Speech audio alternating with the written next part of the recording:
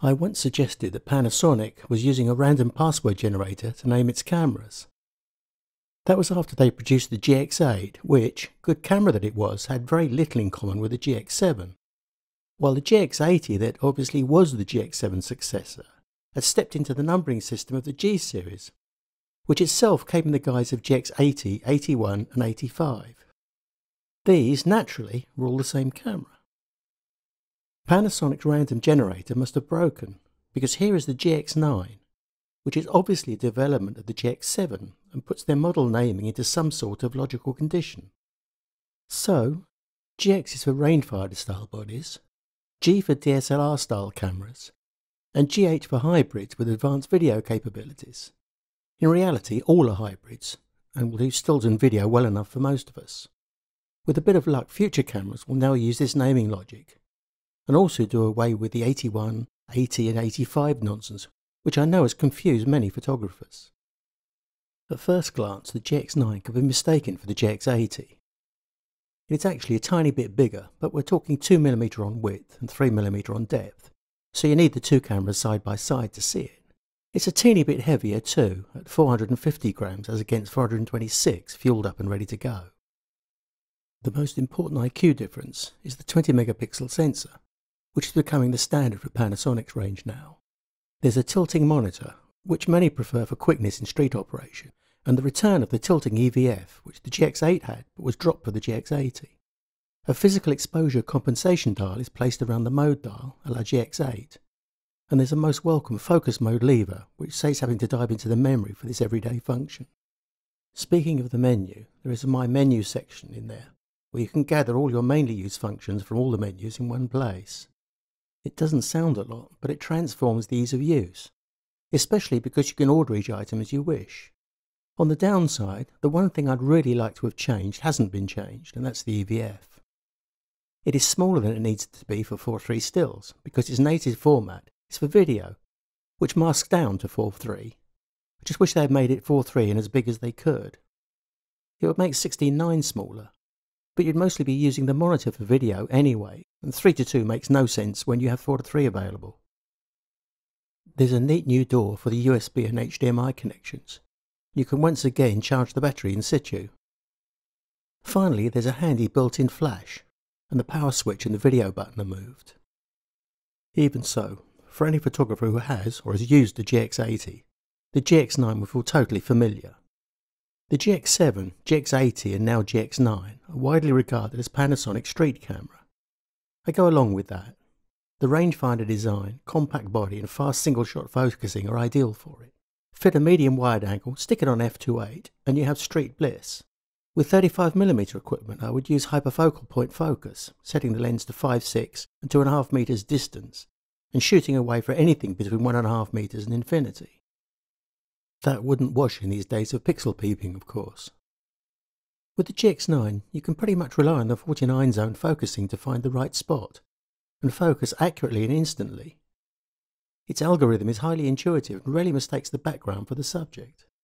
The swiveling EVF I use occasionally, mainly because it is there, but I never missed it on the GX80.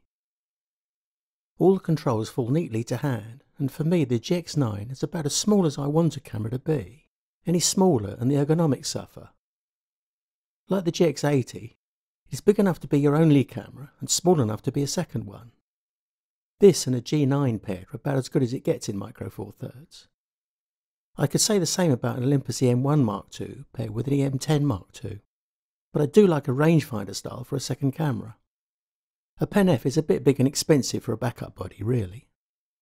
Speaking as someone who doesn't use flash a lot, GX9's pop-up item fills the bill nicely for when I do, and it's nice to see it retained when so many bodies have dropped it.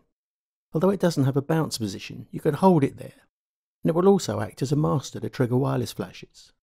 It retains the effective panorama mode with automatic stitching in camera, and has a new sequence composition setting using the 4K still shooting. Not unexpectedly, there is no 6K stills mode.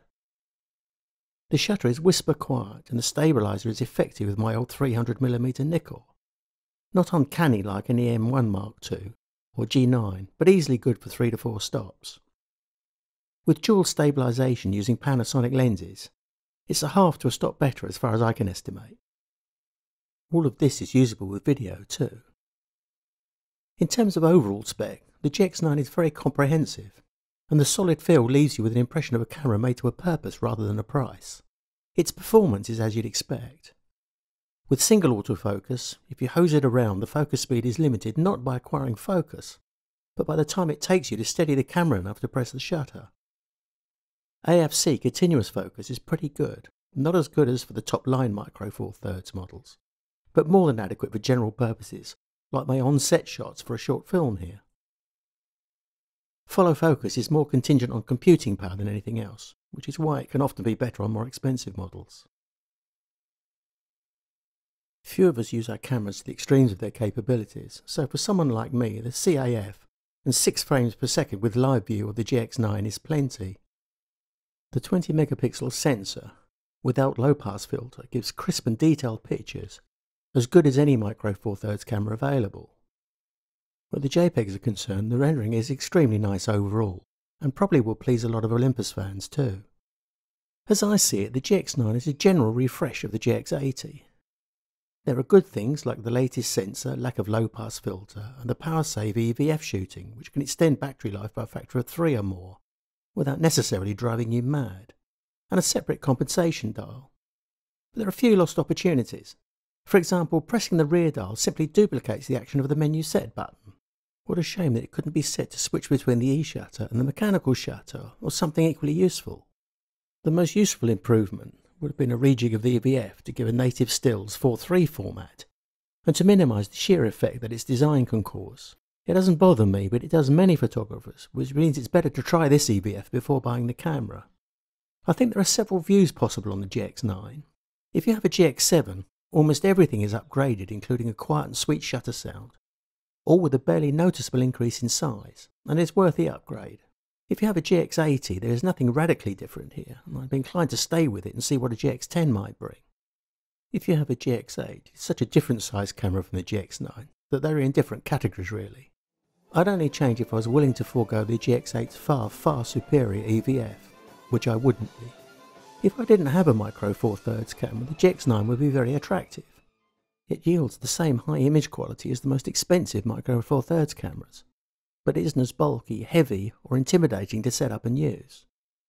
If you are new to Micro Four Thirds and want to try your hand at street photography, this is probably the most effective way to do it other than the cheaper GX80.